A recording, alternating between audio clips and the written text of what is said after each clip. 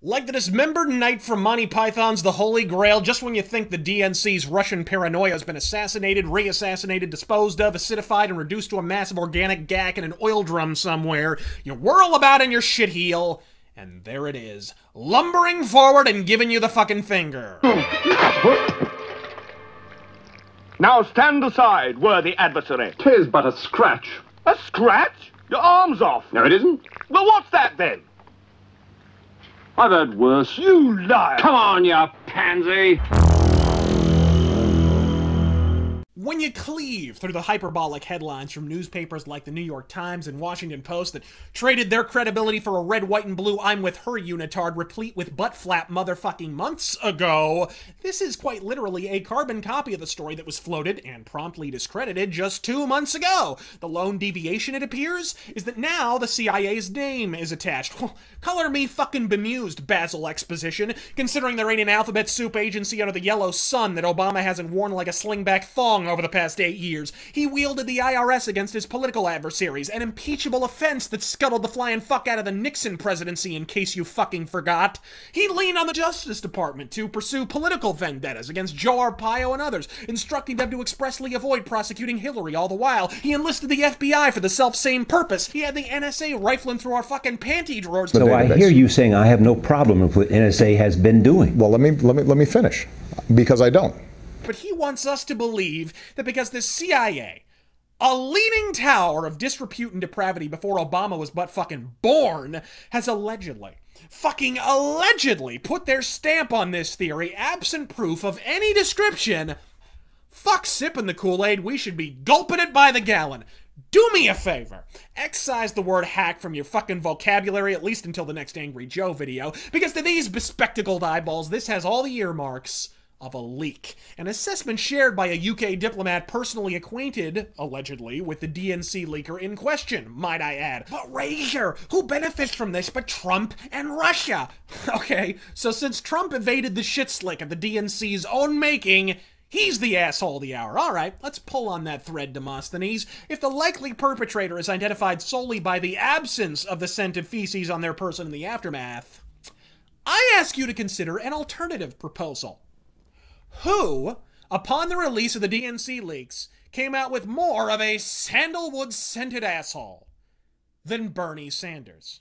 Hillary looks like Lucifer incarnate. Trump, at best, a buffoon. Colin Powell's emails describe Trump as a national disgrace, but Bernie? All he's missing is a crown of thorns and a length of dogwood. Sanders comes off positively messianic. Get that fucker some scourges and flays and his back will be as red as his politics. But fuck's sake, you mean to tell me it's a complete coincidence that in thousands of emails, every major DNC figure from Pelosi galore to Debbie Doberman Schultz is balls deep in corruption casserole, but Bernie Sanders, a man who's been in politics a quarter of a century, and who we know took lobbyist and special interest donations in the primaries, comes out shitting rainbows?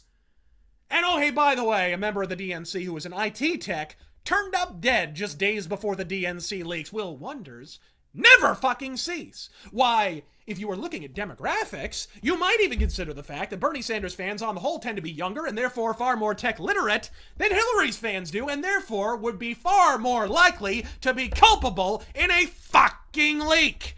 Well, that's purely circumstantial. Well, fantastic. It matches the accusations in the Washington Post, then. We can sell them as a fucking set. Thus far, the media has provided no names, no places, no instances, not even circumstantial proof, and even the piteous quantity of horseshit and hearsay they do proffer is contradicted by other mitigating facts, such as their clown shoes contention that Russia hacked both the DNC and RNC simultaneously. When the DNC was hacked, mm-hmm. we called the FBI and they came in to help us. Mm-hmm. And they came in to review what we were doing and, and, and, and through our systems, went through every single Right. thing that we did. We went through this for a month. I underst- and I we were that. not hacked. So wait a second. If we were not hacked, and that is, that is absolutely not true, then where does that story lie?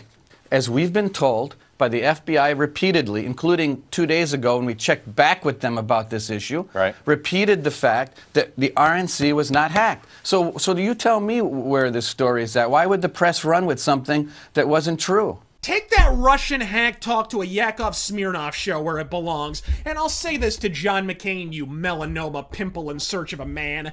You may have spent the entirety of the primaries excoriating Trump and his supporters as, and I quote, the crazies, chiding them for backwoods conspiracy theories like, oh, I don't know, the concept that you were a dog shit presidential candidate. But it's inordinately telling that this wizened old Pez dispenser is choking down Obama's conspiracy kebabs and asking for fucking seconds.